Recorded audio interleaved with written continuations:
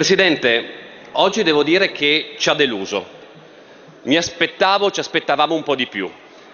Ci aspettavamo qualche promessa, Presidente, che oggi non ha fatto, non so, le do un consiglio, 80 euro per i deputati di PD che votano la mozione di maggioranza, 80 euro alle maestre che insegnano gli inni pro Renzi quando va nelle scuole, non so, 80 euro ai presidenti della regione come la Serracchiani che dicono che è giusto tagliare la sanità ai propri cittadini.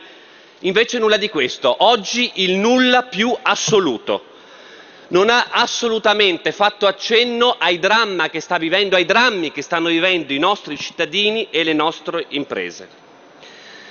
Presidente, questo per dirle che ci divertivamo di più con le sue balle rispetto al nulla odierno. Lei non ha detto nulla, ma la Lega Nord vuole riportarla alla realtà alla realtà di quella fantomatica legge di stabilità dove altro che 80 euro alle neomamme lei porta le pensioni ad essere pagate al 10 del mese colpendo in modo irresponsabile e vergognoso i pensionati e gli anziani di questo Paese.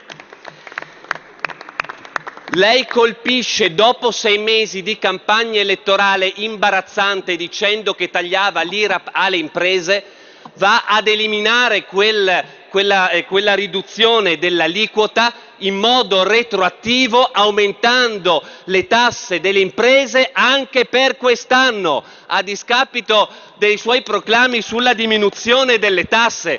Ha preso in giro imprenditori e adesso va a mettere le mani nel portafoglio di quelle imprese che stanno resistendo alla crisi e stanno garantendo i posti di lavoro in un momento di forte crisi occupazionale.